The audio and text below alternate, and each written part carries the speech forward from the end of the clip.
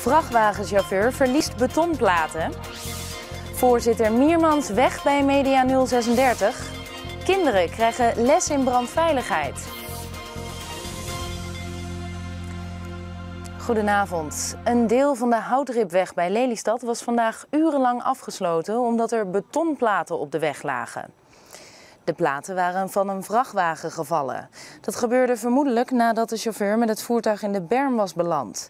Een aantal betonplaten brak in stukken.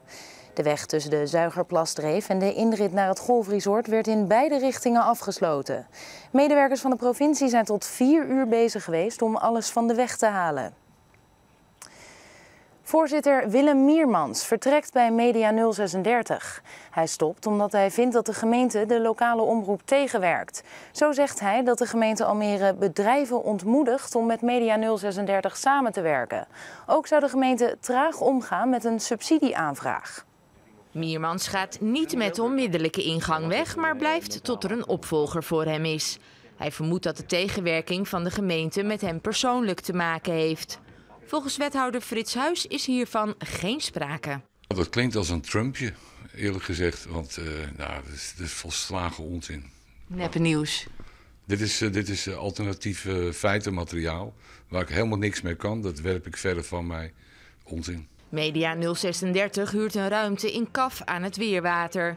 De studio werd een half jaar geleden afgebroken vanwege een verbouwing van het theatergebouw.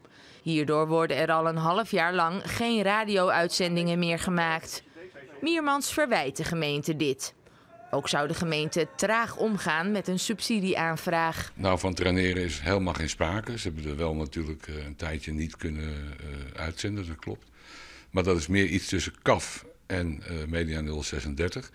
En de bekostiging, de subsidie, ja, daar ben ik nu even mee een pas op de plaats aan het maken. Omdat ik graag wil weten hoe de continuïteit van Media 036 wordt gewaarborgd. Miermans wil zijn vertrek niet verder voor camera toelichten.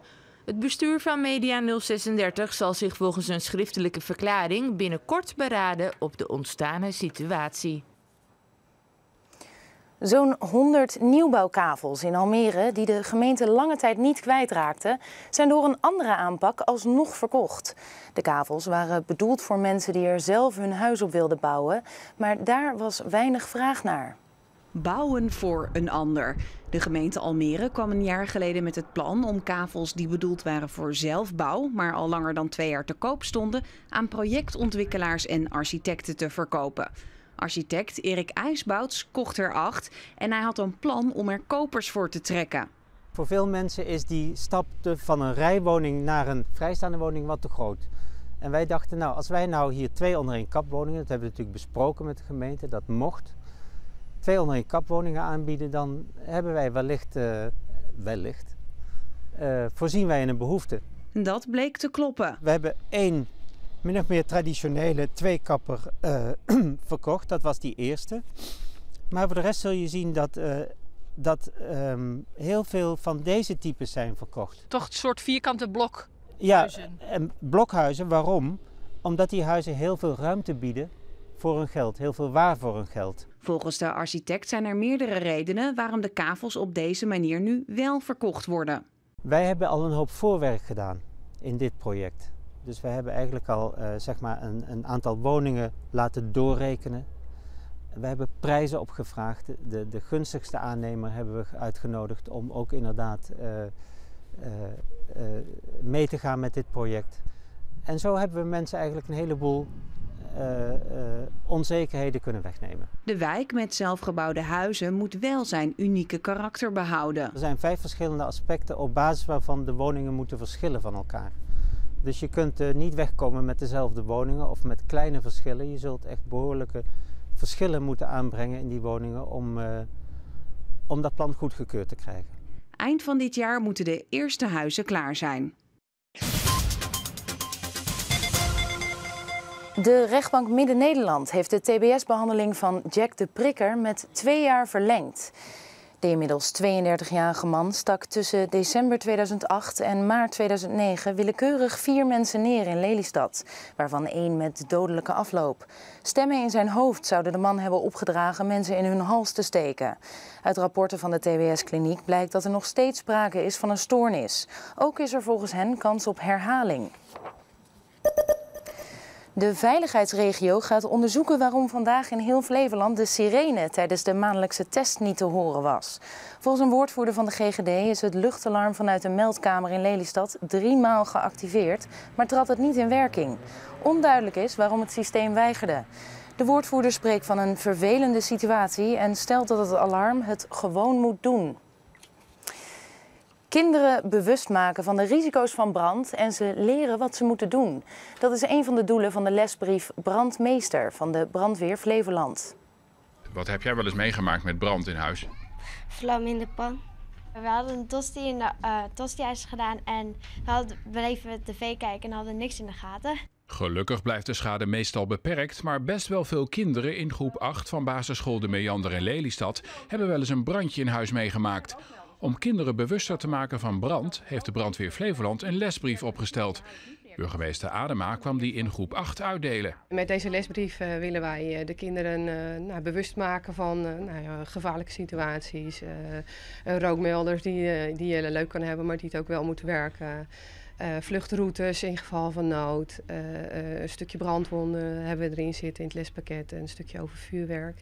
En we willen de kinderen vooral bewust maken van dat soort situaties. Maar we willen natuurlijk ook uiteraard dat ze de kinderen er thuis over praten met, met papa en mama. Wat nou gevaarlijke situaties zijn. Merkt u dan dat kinderen te weinig weten over de gevaren en risico's van brand?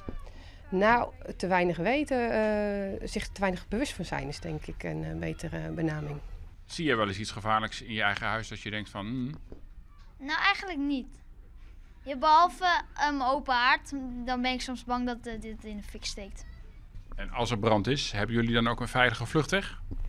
Uh, ja, we hebben de achtertuin en, uh, en de voordeur, dus ja. Tot nu toe doen 12 van de 200 Flevolandse basisscholen mee met de lesbrief. De brandweer hoopt dat dit er snel meer worden. Dan krijgen die scholen ook vast een bezoekje van een echte brandweerwagen. Het aantal biologische bedrijven in Flevoland blijft groeien. De provincie heeft de meeste biologische landbouwgrond van heel Nederland. En om dat verder te vergroten geeft de organisatie Biologisch Netwerk cursussen in Zeewolde aan boeren die misschien willen overstappen. Ik heb vorig jaar tot juni al geleverd. Douwe Monsma maakt hen wegwijs in het biologisch boeren. Hij is jaren geleden zelf al overgestapt. Nee, nog geen, uh, geen seconde spijt van gehad. Voor boeren die willen omschakelen is dit het goede moment. De vraag naar biologische producten neemt toe, zowel vanuit het binnenland als buitenland. In Flevoland wordt op ruim 10% van de grond biologisch geboerd. Flevoland is een uh, prachtige provincie met, uh, met jonge kleigrond die zich uitermate goed leent voor biologische landbouw. Er zijn diverse redenen voor de boeren om de overstap al dan niet te maken. Financieel staat wel bovenaan. Maar uh, kijk, ik, ik ben er wel toegekomen door een, een bewustwording uh, over het milieu. Uh, dat we natuurlijk niet zo onbeperkt door kunnen blijven gaan. Het grootste verschil tussen gangbaar boeren en biologisch boeren is dat je geen gewasbeschermingsmiddelen en kunstmest gebruikt. Dat maakt het wel arbeidsintensiever. Nu kan ik zeg maar, mijn bedrijf alleen en dan deels samen met de loonwerker rondzetten. Maar dan moet je met personeel gaan werken. En dat dat blijft, welke cursus je ook volgt, maar dat blijft voor mij het grootste nadeel. Flevoland heeft nu 9000 hectare biologische landbouwgrond.